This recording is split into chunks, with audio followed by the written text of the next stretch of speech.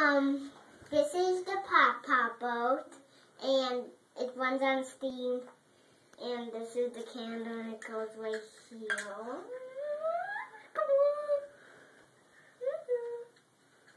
What else do you do?